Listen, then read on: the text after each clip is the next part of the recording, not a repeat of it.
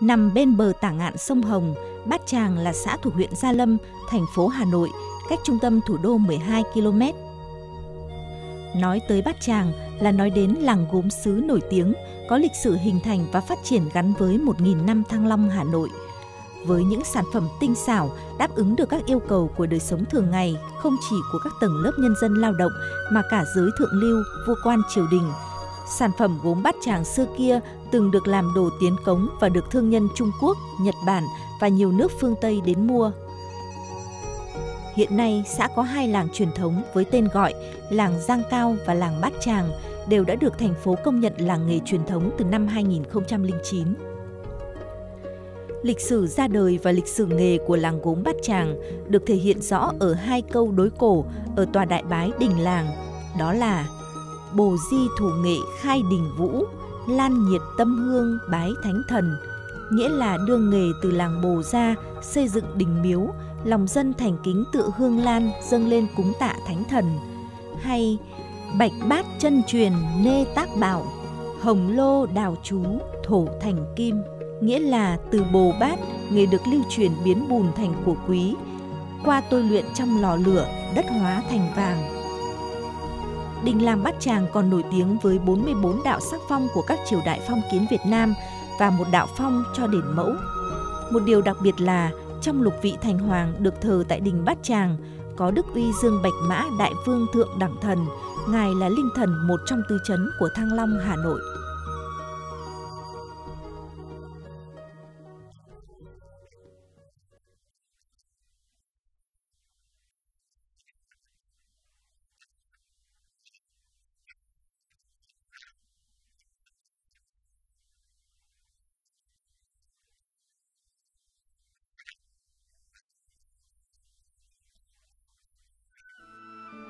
Sản phẩm làng gốm Bát Tràng rất phong phú, trong đó gạch Bát Tràng là thương hiệu nổi tiếng đã được nhắc đến trong nhiều câu ca dao xưa. Ước gì anh lấy được nàng để anh mua gạch Bát Tràng về xây. Gạch Bát Tràng hiện hữu trong các công trình kiến trúc của Hoàng thành Thăng Long, Văn Miếu Quốc Tử Giám, đình, đền, chùa, miếu, hồ, giếng của các làng xã Việt Nam trong cả nước. Cùng với gạch Bát Tràng, Đồ gốm bát tràng cũng nổi tiếng trong cả nước và quốc tế. Gốm bát tràng có nhiều kiểu dáng, chủng loại, kích thước, phân loại theo chức năng. Đồ gia dụng có bát đĩa, ấm chén, vò, lọ, chậu. Đồ thờ cúng có lư hương, chân đèn, chân nến, phù hương, nậm rượu, chóe, vân vân.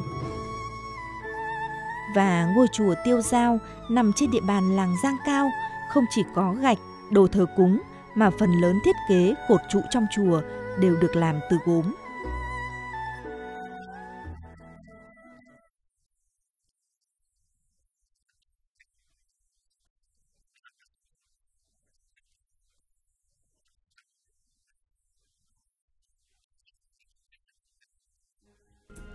Nhắc đến Bát Tràng là nhắc đến những ngôi nhà cổ. Xã có 23 ngôi nhà cổ đã được thành phố đưa vào danh sách bảo tồn từ năm 2001. Ngôi nhà cổ năm gian này là một trong số ít những ngôi nhà cổ có nét chạm khắc tinh vi, đã được chủ nhân là nghệ nhân gốm Tô Thanh Sơn dành nhiều thời gian và công sức để phục dựng nguyên bản ngôi nhà trên nền cũ. Và đây thực sự như một góc bảo tàng sống của làng nghề gốm xứ Bát Tràng.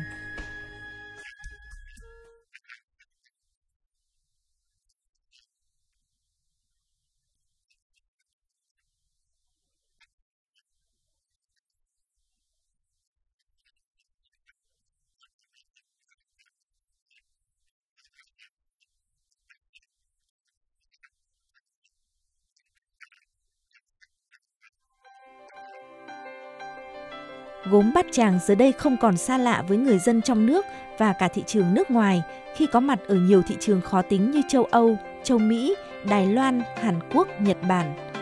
Thật chẳng ngoa khi nói gốm sứ bát tràng đã đạt tới đỉnh cao của nghệ thuật và kỹ thuật chế tạo đồ gốm sứ ở Việt Nam.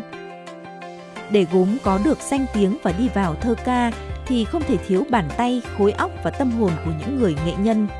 Nghệ nhân không phải là những người lao động bình thường Ngoài sự khéo léo của đôi bàn tay, họ còn giữ trong mình cả những bí quyết, những kỹ thuật làm gốm được truyền từ đời này sang đời khác. Chính họ cùng những người dân khác đang nỗ lực gìn giữ và phát huy nghề truyền thống của tổ tiên.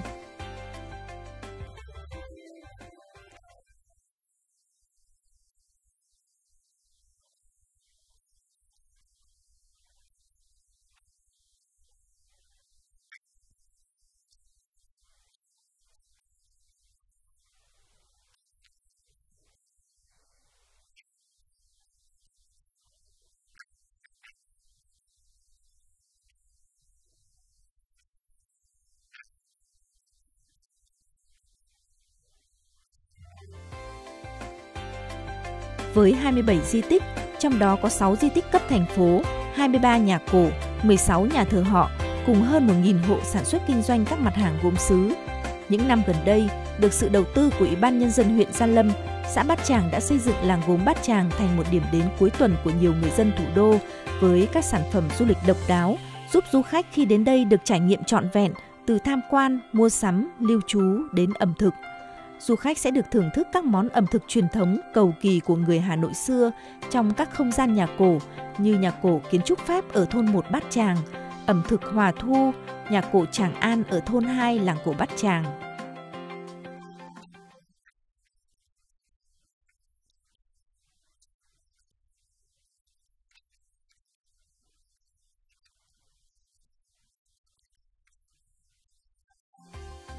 Đặc biệt, điều hấp dẫn du khách khi đến đây chính là dịch vụ chơi nặn gốm. Nhiều gia đình trong làng cung cấp dịch vụ này. Nổi tiếng nhất là ở lò bầu cổ cuối cùng còn sót lại trong làng. Trải nghiệm này vui lắm, tôi rất thích. Tôi chắc chắn sẽ đem sản phẩm này về nước khoe với bạn bè. Hàng năm, Bát Tràng đã thu hút gần 200.000 lượt khách đến tham quan trải nghiệm, trong đó có hơn 10% khách quốc tế. Song song với việc duy trì các sản phẩm du lịch độc đáo, Ủy ban Nhân dân huyện Gia Lâm và xã Bát Tràng thời gian qua đã tập trung đầu tư nâng cao cơ sở hạ tầng từ việc kết nối giao thông, các khu vui chơi giải trí, các dịch vụ mua sắm, hoàn thiện hệ thống các nhà hàng phục vụ khách du lịch. Đặc biệt là đã triển khai du lịch thông minh với các sản phẩm như cung cấp mạng Wi-Fi công cộng miễn phí, xây dựng app du lịch, cổng thông tin điện tử Bát Tràng cùng một số dịch vụ khác. Kết nối du lịch làng nghề Bát Tràng với làng nghề Kim Lan và du lịch trải nghiệm nông nghiệp Văn Đức tạo nên điểm nhấn hấp dẫn của thủ đô.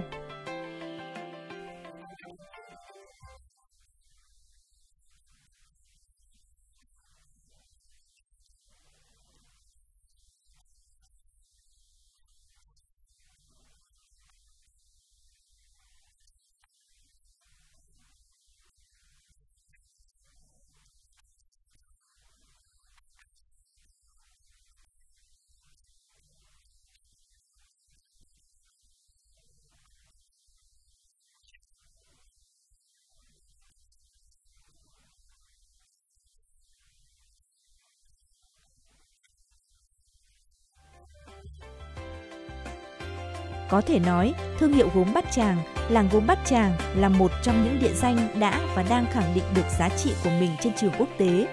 Làng nghề truyền thống lâu đời này không chỉ là một địa chỉ lưu giữ những giá trị tinh hoa văn hóa dân tộc mà còn chứa đựng những giá trị tinh thần lớn lao. Giữa bộn bề cuộc sống tấp nập, làng gốm Bát Tràng vẫn là một điểm đến, một chốn đi về bình yên.